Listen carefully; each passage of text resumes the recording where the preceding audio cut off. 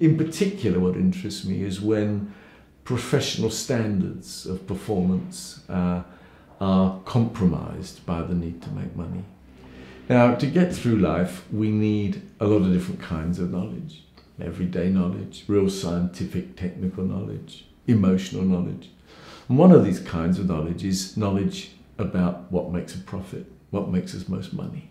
And at the present time, in a society very much driven by market and by profit maximization, that kind of financial knowledge can trump, can beat all other kinds of knowledge. The pollution of the Gulf of Mexico by British Petroleum a few years ago, a huge disaster, killed people, destroyed people's livelihoods.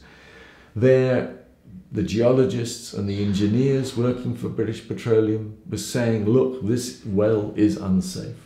But the financial knowledge of the financial guys in the corporation said, no, look, this is going to be too expensive to do anything about. Keep quiet. And so they, the, the, the knowledge coming up from geological and engineering science was ignored because the financial goals were seen as more important. That would be another very good example. We can never stop doing something about it because as soon as we set up institutions to try to manage these things, the institutions themselves become the targets of the next corruption.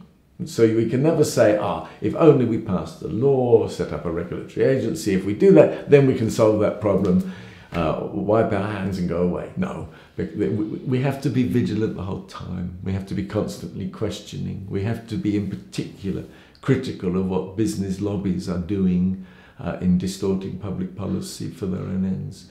So that citizens need to be eternally vigilant. And thanks to social media and the internet, there are now often very effective campaigns that draw our attention to these things. So if we care about what's being done to us and whether the knowledge we need for our lives is being distorted, we need to be attentive, to watch out, to do what we can to contribute.